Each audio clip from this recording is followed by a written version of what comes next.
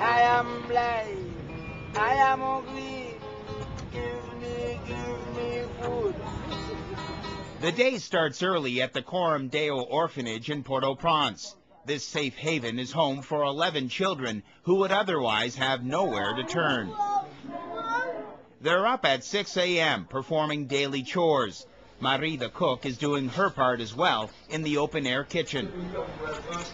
Even though they've been abandoned by their parents, these children are considered among the fortunate ones in this land of overwhelming need. I'm going to go to the University of Miami Field Hospital.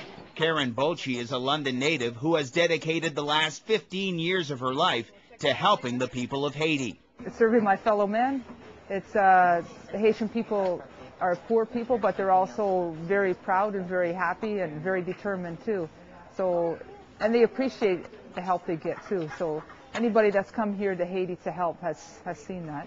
Besides the orphanage, Karen has initiated a number of outreach programs. Her clinics have become more frequent since the quake. Wound on her left leg needs bandage change. Hospitals aren't really functioning because there's many that are damaged and clinics are damaged and just to be able to help with medical care in some way. That's what we've been doing since the day of the earthquake. There's always a beehive of activity here at the orphanage. On one side, you've got the medical staff. They're dealing with the ill. And across the yard, the Canadian military has shown up to repair a wall damaged by the earthquake. The Canadian troops have heard of Karen's good deeds, and they want to return the favor. We have to drill holes and put rebar in there. In addition to our job that already keeps us very, very busy in supporting the troops, uh, this is very much on a voluntary basis that we come out here and do what we can for the population. But no haven is completely safe. The effects of the January 12th disaster were felt even here. John Eddie Alexandra lost his two best friends that day. Sometimes I'm sad, sometimes I'm happy too. When I'm thinking about Samuel and Millier, I'm sad. By looking around, you can't help but be overwhelmed by the sadness here.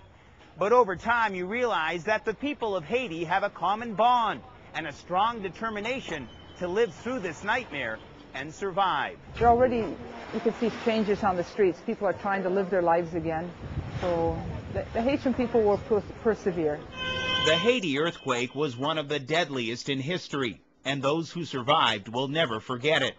Now, as the rebuilding begins, they're praying the global community they depend on the most for support won't let the memory fade. In Port-au-Prince, Haiti, Nick Paparella, A News.